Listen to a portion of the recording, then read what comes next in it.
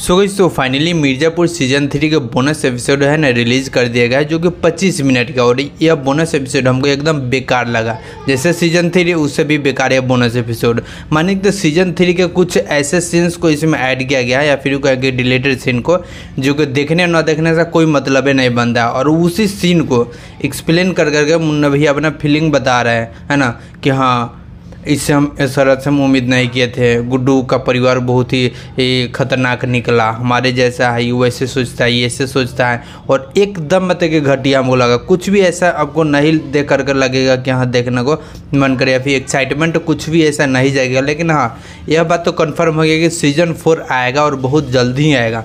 और season four में ही ऐसे ही नाइडेशन करते हुए दिखाई देंगे मुन्ना भैया। और बाकी ऐसा कुछ भी एक्साइटमेंट नहीं जाएगा लेकिन मुन्ना भैया के जिस तरह का है उसी तरह मतलब कि नरेशन में आएँगे, कहेंगे कि हाँ गुड्डू भैया के प्यार हो गया, गुप्ता जी से।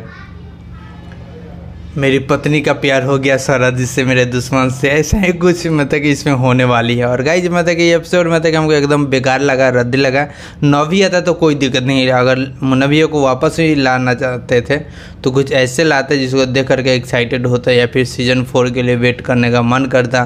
लेकिन ऐसा कुछ भी नहीं है। कुछ भी ऐसा उम्मीद नहीं लगा, लेकिन बेकार ही है सीज़न पर। बस नॉर्मली एडिट करके कि यहाँ पर डाल दिया गया है। बाकी आप बताइए कि आप देखें कि नहीं नहीं देखे तो जाकर अमेजोन पर ज़रूर देख लीजिए। काफ़ी अच्छा लगेगा आपको।